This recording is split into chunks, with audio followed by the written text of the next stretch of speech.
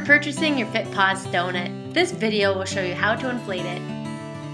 Please read the FitPaws safety, care, and use instructions before using your FitPaws donut, and also make sure to watch the how-to DVD that's included with your equipment. The donut includes a Fitball pump. Please screw the cone-shaped adapter onto the end of the Fitball pump. Now we can start inflating. First, take the white plug out of the donut. This is what's used to hold air inside the donut. At full inflation, the donut should measure 13 inches high. You do not have to use the donut fully inflated. Make a mark on a wall so you can measure the ball's height during inflation.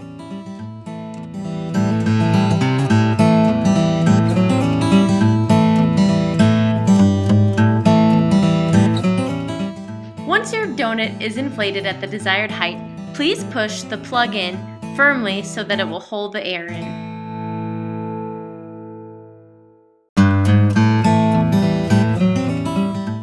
You can also use a FitPaws donut holder for your donut. It provides extra stabilization and is a great practice indoor tire jump for small dogs. Remove the plug from the holder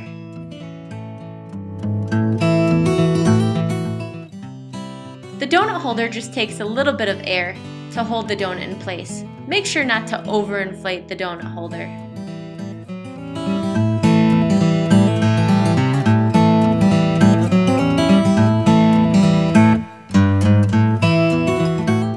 Once it's inflated, take the plug and push it firmly in the hole. This will hold the air in.